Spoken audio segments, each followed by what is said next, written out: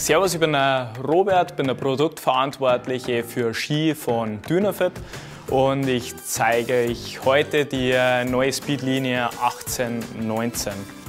Speed ist die Übertragung vom Rennkonzept in hin zum alpinen äh, Terrain, sprich breitere Ski, robust und trotzdem getrimmt auf Leichtgewicht für sportlich ambitionierte Tourengeher und Alpinisten.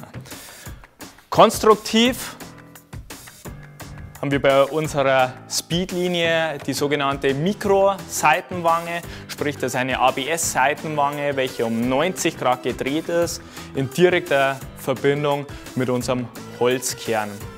Garantiert eine perfekte Kraftübertragung vom Skifahrer auf die Kante und ist trotzdem noch sehr leicht. Der Holzkern von unseren Skiern ist ein Paulonia-Holzkern. Paulonia ist ein sehr leichtes Holz, ein robustes Holz und äh, das perfekte äh, Material für unsere Speedlinie.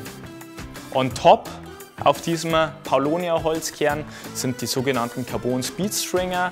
Das sind Carbonstreifen von vorne bis hinten in den Ski eingelegt. Dadurch ist der Ski noch steifer er hat besseres, äh, Dämpfungs-, bessere Dämpfungseigenschaften und die Rückstellkraft bei einem Schlag ist um 12% erhöht.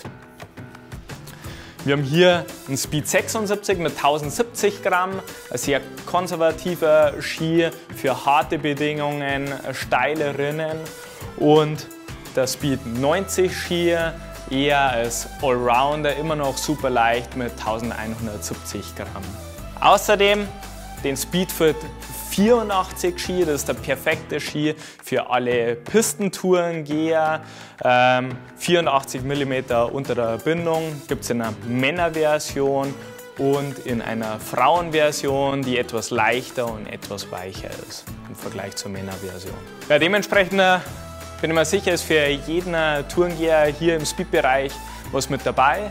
Ich wünsche euch viel Spaß im Schnee und äh, macht es gut.